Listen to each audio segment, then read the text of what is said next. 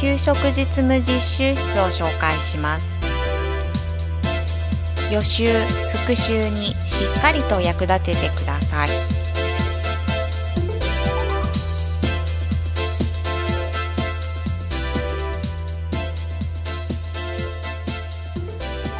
こちらが入り口です。ここで靴を脱ぎます。脱いだ靴は靴箱へ入れます。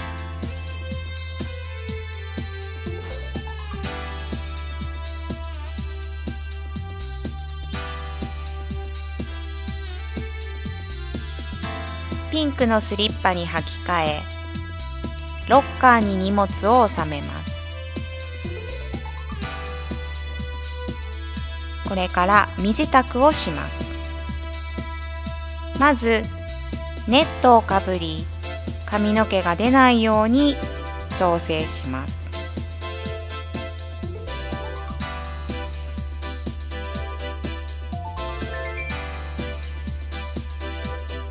その次に帽子を着用します。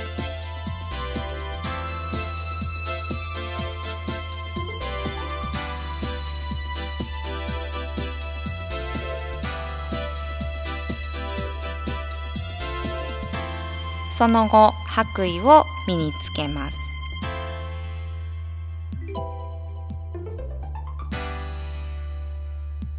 必ずネット帽子白衣の順で身につけてください。自分の荷物が入っているロッカーはこのように使用中がわかるようにしておきます。入室時はマスクを必ず専用のものに取り替えてください。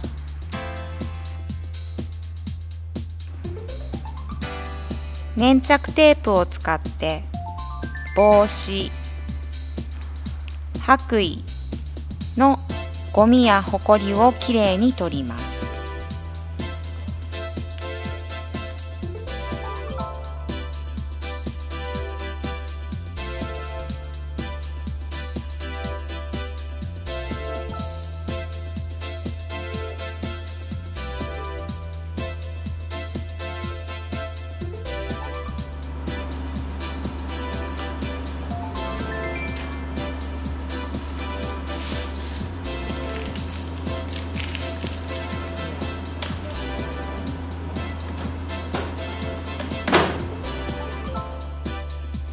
最後にもう一度鏡で身だしなみを整え入室します。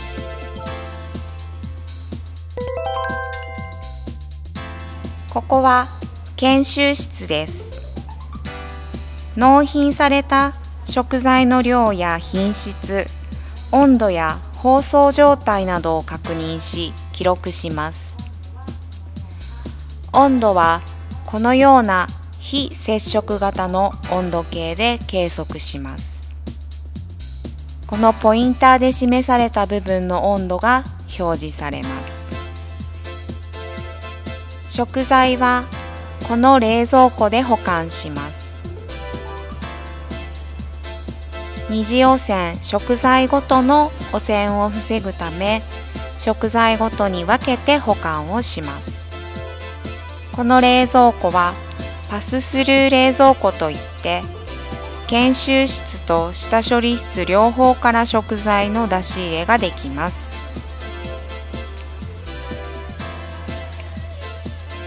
ここの手洗い設備を使って手を洗います。手洗いは衛生管理の基本なのでしっかりと身につけましょう。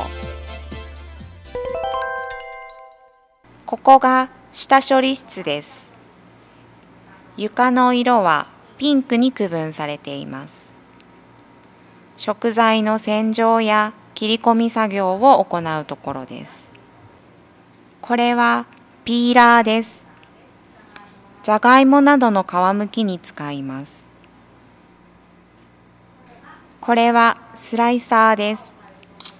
刃を変えることによって様々な切り方をすることができます。こちらは土付き野菜の洗浄シンクです。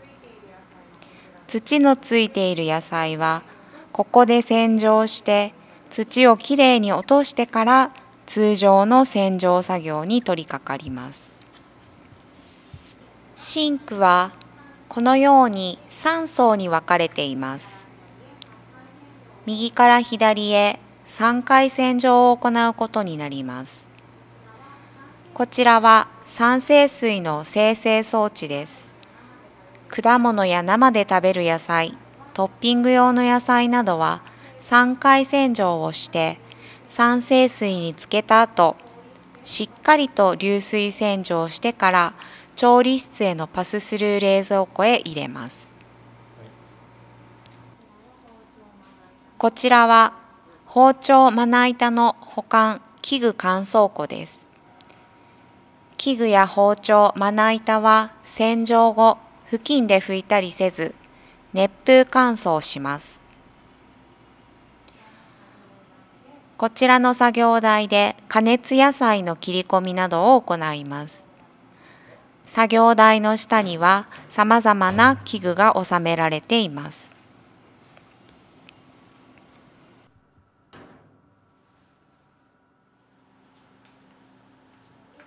ここで厨房シューズに履き替えて手洗いを行い、しっかりとアルコール消毒を行います。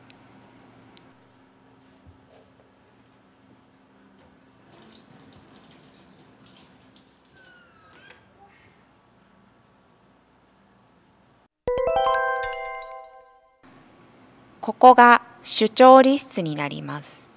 床の色はグリーンで区分されています。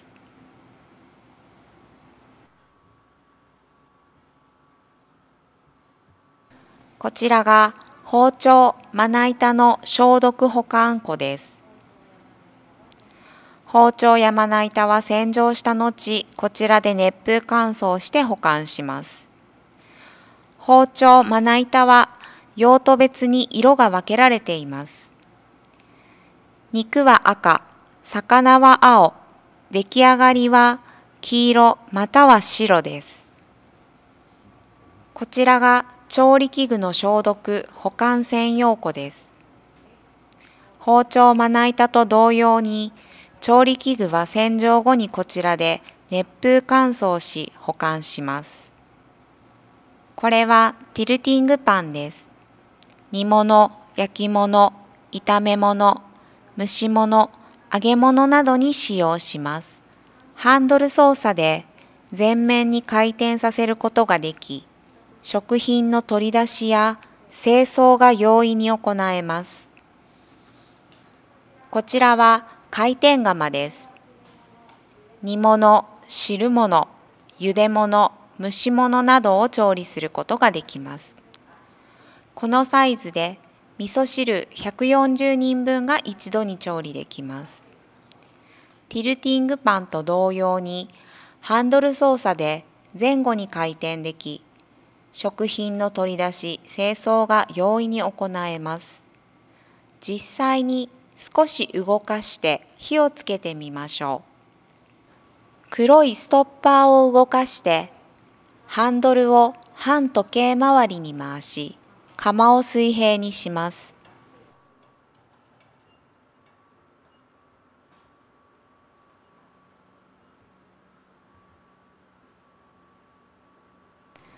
トッパーをセットして固定します。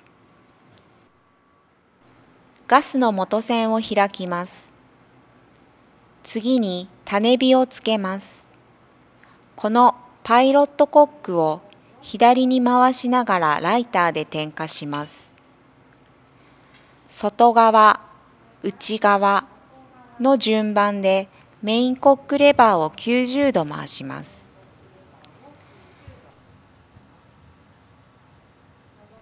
覗き穴から覗いて着火を確認したらパイロットコックを閉めます。覗き穴から炎の状態を確認しながら徐々にメインコックのレバーを絞り火力を調節します。調理終了後はメインコックを閉じ、ガスの元栓を閉じます。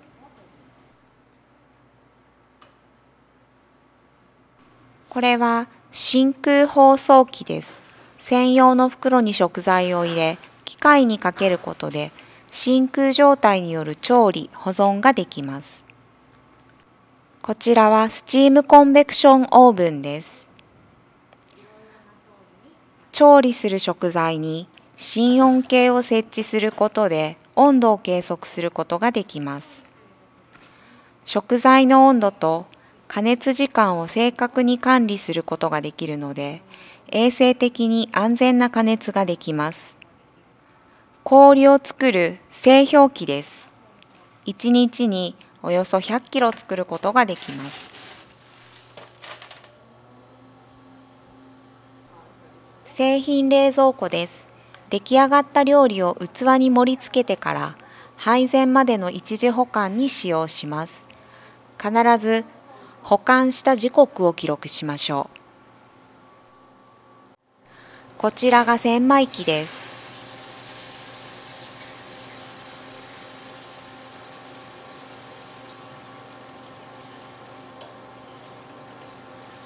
このように水の循環を利用して洗米します。衛生管理の視点から本来は下処理室に設置するべき機器ですが、この実習室ではスペースの関係上調理室に設置しています。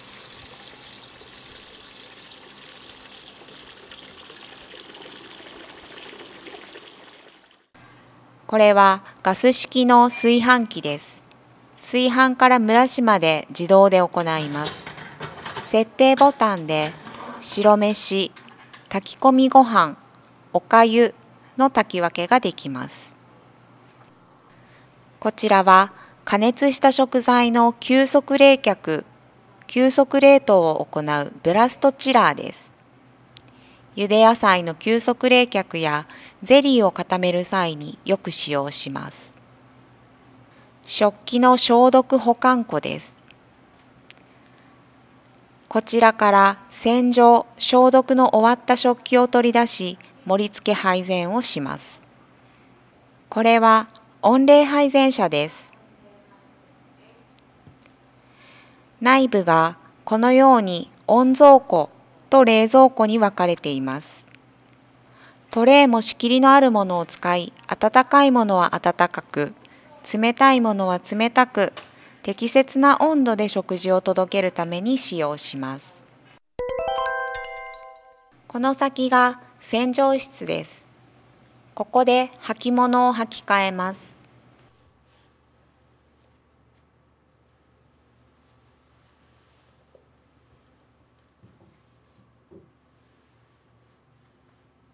このシンクはつけ置きシンクです。お湯を張り、洗剤を入れておきます。下膳された食器をつけ置きし、スポンジで洗浄を行います。その後、こちらのシンクで洗剤をしっかりと洗い流し、食器洗浄機で仕上げ洗いを行います。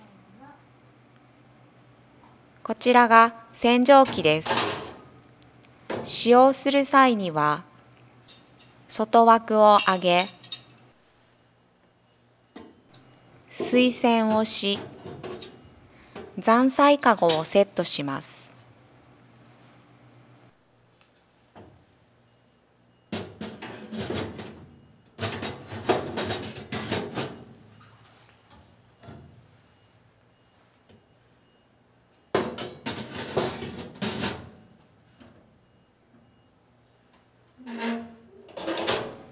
枠を下ろして表示通りにスイッチを入れ、レバーを下ろし、中に湯が溜まったスタンバイ OK の状態になるまで待ちます。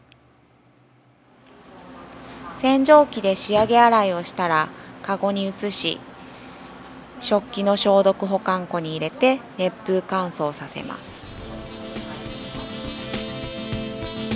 給食施設ならではの機器ばかりです。